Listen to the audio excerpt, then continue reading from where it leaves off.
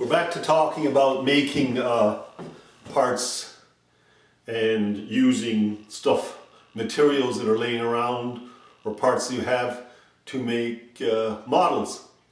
Um, here is here is a model I made with old Airfix parts for Goof Button Pete, a TV comedy show that a guy thought up. And I made this spacecraft for him. Here's a clip of the spacecraft.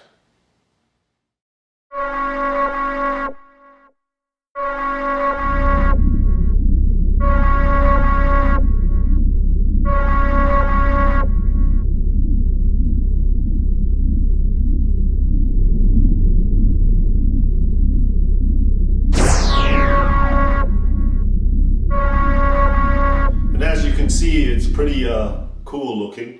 But you know, when you're making models, you often have a hard, more difficulty thinking out of the box, and which I call out of the box. You think this way, uh, like a horse with blinkers. That's what they say, anyways. But you have to think this way, and you know, I worked in the film for 15 years and that, and I did some different various things. So what I'm going to show you is a little bit of some of the ideas and simple things you can do to uh, actually uh, expand your parts for your models and sometimes make a part out of something in the house if you keep looking long enough.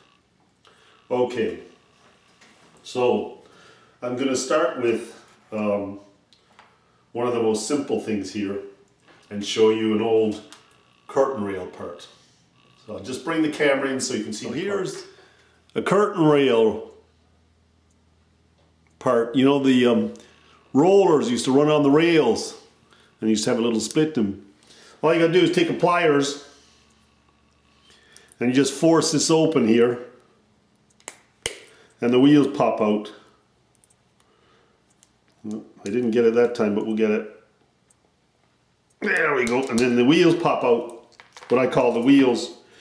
Now, I'll get them in a little pliers here so you can see them. This is those doctor pliers that lock. And as you can see, you get a little wheel, great for little Tootsie toys or something. But then you can uh, also um, take the wheel and drill through it and you know you can have it as uh, a design for a gun or something you know and a ship the back of the gun it can be the bottom of a turret, right? So there's many options you can use it for once you take it off the the um, the rings and that. There we go. So that's one little item. It's you know it's around the shop. It's close by all the time.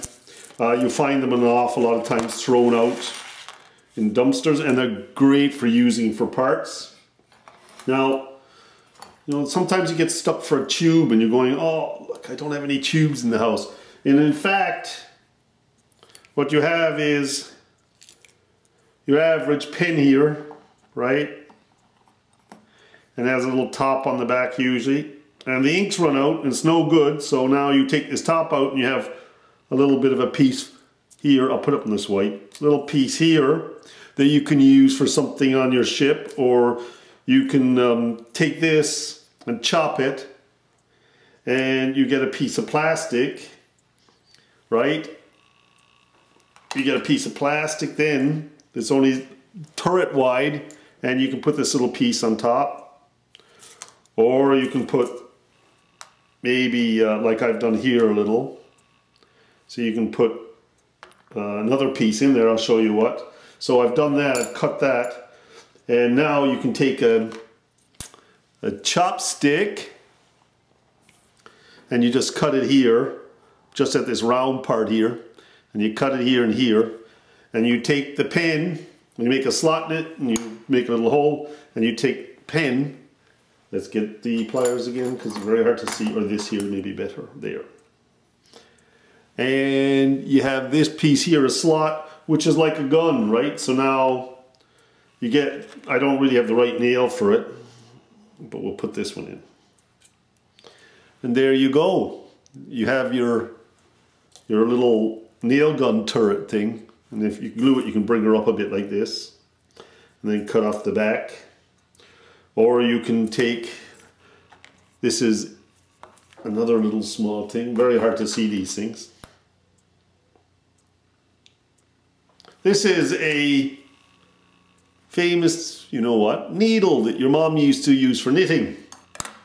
You often see them thrown out places. I've cut a little piece off. It had a put a little hole in it. And there you go. It can go on the back of the gun. Oops.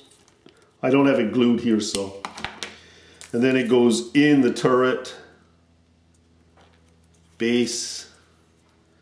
Up like that. And you cut off the back. And there you go. You got a little gun for a battleship. So there you go. It's quite easy to make up things, see? And you still have this little top blue top piece you can use as a as a boat tie for a larger ship. And here I have some other objects. Here's a um, just a plastic raw plug for pushing a raw plug in a wall and expanding it. Just kept it as parts. You never know, you might need the stem or something. This is kind of neat. This is a, you know, the paper clip ties for um, paper clip ties for binders. As you can see, it bends quite easy. And I often take the caps off, cut them off, and as you can see, in my nice little headlights and you know pieces on a ship. If you had a ship, you can put that piece there like that. See, it looks pretty good and epoxied on. We have kitchen cabinet units that have these tops I'll try to put things aside as I go along. And you can put those on a ship. And then there's the other type that are higher up like this. There, this is for a larger ship now. And then you can also do this and make it look like a winch for the rope coming in. So there you go. Be a larger model, but it would work. We can take those out of the way now. See what else we got to show you. I did this yesterday and I did show it to you, but I finished it off now.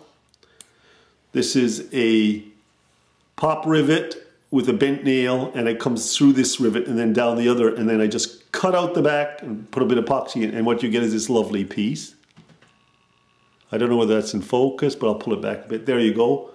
And it can go on a ship as a um, ship wheel on smaller models or it can be a you know, those vent funnels, those funnels you have on ships.